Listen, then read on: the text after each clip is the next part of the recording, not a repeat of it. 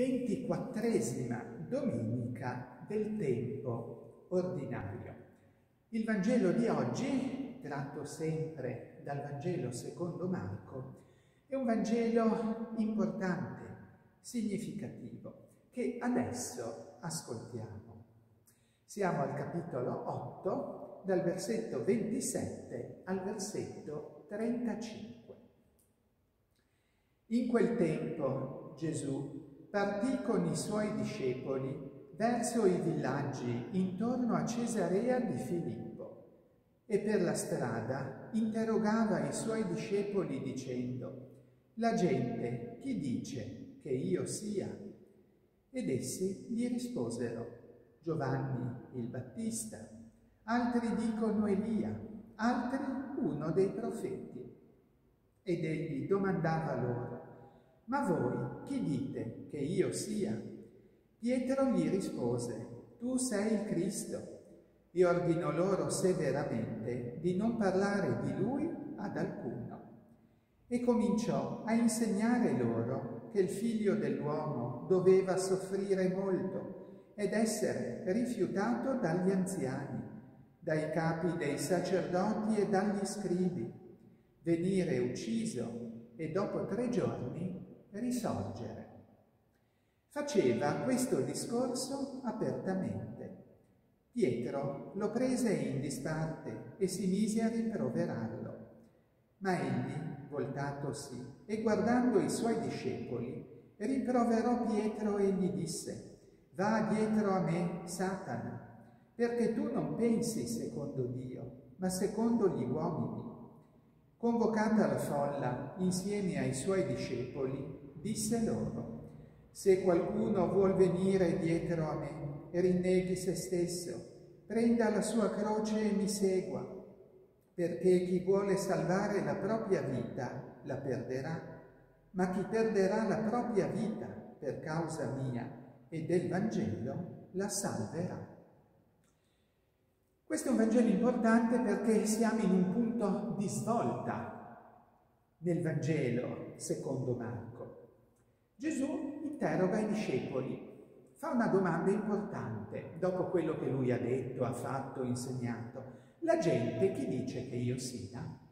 Ecco che allora le risposte che danno apparentemente sembrano anche risposte belle, importanti. Giovanni il Battista, Elia, il grande profeta Elia che si aspettava che venisse, che arrivasse poco prima dell'avvento del Messia, o comunque un profeta. Quindi una persona comunque inviata da Dio. Ma ovviamente siamo su un piano molto diverso per riuscire a capire chi veramente è Gesù. Allora a questo punto Gesù chiede loro in maniera più esplicita, ma voi chi dite che io sia? Un conto è la gente, in fondo non stavano con lui, non vivevano con lui, e quindi potevano anche riuscire a non capire bene fino in fondo. Ma adesso lo chiede ai discepoli, voi chi dite che io sia? Ecco allora Pietro dà una risposta che è importante, tu sei Cristo, il consacrato, l'unto, quindi qualcosa di più di un profeta.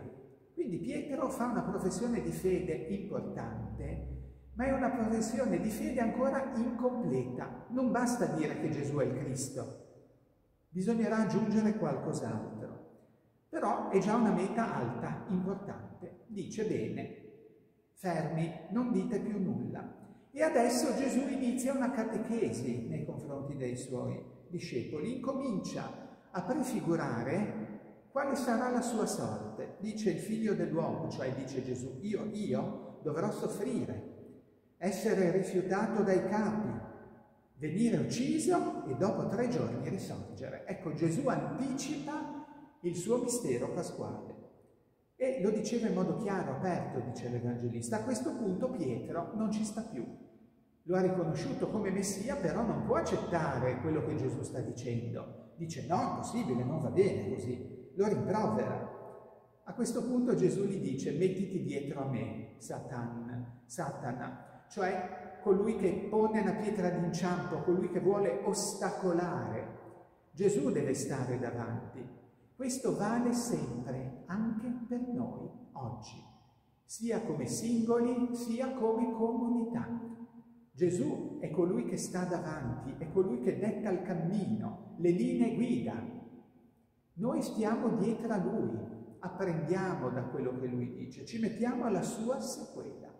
Se invece vogliamo metterci davanti, ecco che noi diventiamo Satana, diventiamo qualcosa che mette un inciampo, una pietra, un ostacolo. E questo bisogna che la Chiesa lo capisca bene, soprattutto in questi tempi brutti, in cui si vuole mettere davanti tanti altri, tante cose, tanti idoli, pensando che siano quello la salvezza.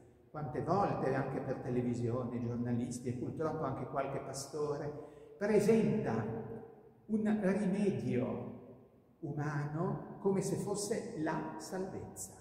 No, solo Cristo è la salvezza. Quindi dobbiamo metterci dietro a Lui, non davanti a Lui. E poi Gesù continua parlando della croce. Chi mi vuole seguire, venga dietro, rinneghi se stesso, prenda la sua croce e mi segua. Rinnegare se stessi vuol dire capire che non siamo noi il centro, ma il centro è Lui. Quindi il cristiano, in fondo, deve essere una persona un po' scentrata, perché non dobbiamo essere ripiegati su noi stessi, non siamo noi il centro di tutto, ma è Cristo. La croce, perché Lui ha dato l'esempio, ci fa capire che attraverso la via della croce, che è una via faticosa, impegnativa, ma è una via di verità, perché è Cristo, via, verità e vita.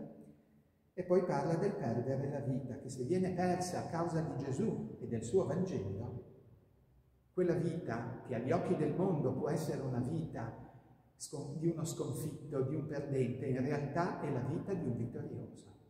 Pensiamo ai martiri, pensiamo ai santi in generale, ma anche tutte quelle persone che anche nel nascondimento, senza avere pubblicità sui mezzi di comunicazione, senza avere seguaci che seguono sui follower, follower eccetera, sono veramente discepoli di Gesù che vivono anche nel nascondimento la loro fede in Gesù, portando dei pesi, delle croci, offrendo, pregando per la salvezza del mondo. Dobbiamo farlo anche noi, soprattutto in questo tempo buio, in cui sembra a volte che anche nella Chiesa il grande assente sia proprio Gesù. Certamente lo è nel mondo, non interessa, basta accendere la televisione.